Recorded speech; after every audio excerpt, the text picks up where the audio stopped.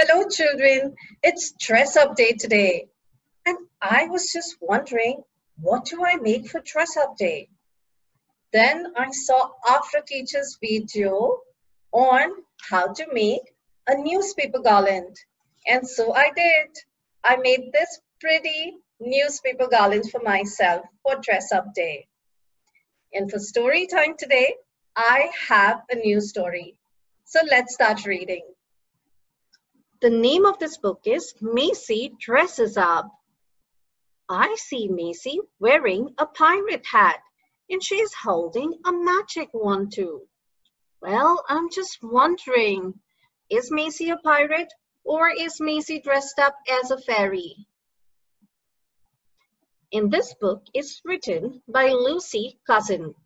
So let's find out. What is Macy up to? Maisy has been invited to Tallulah's costume party.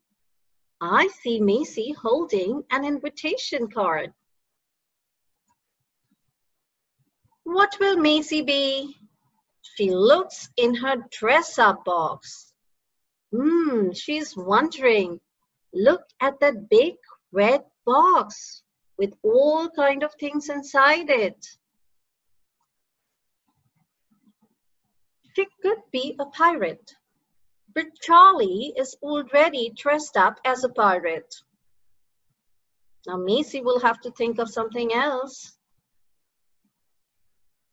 She could be a queen, but Eddie is already dressed up as a king. Look at Eddie the elephant. She could be a firefighter, but Cyril is already dressed up as a firefighter. Maisy has a good idea. She will make her own special costume. Mmm, look at Maisy. She's all ready with a scissor, pencil, some glue, and I can see a white paper in her hand. Charley, Eddie, and Cyril are already at Tallulah's house. When ding dong, the doorbell rings. In comes a zebra. Who could that be? Oh, it's Maisy.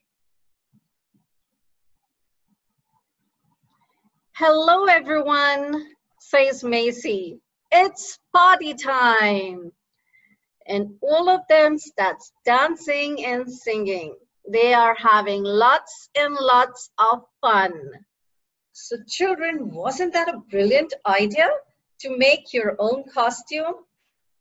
Well, I enjoyed reading this book and I hope you did too. I will see you next time with a new story.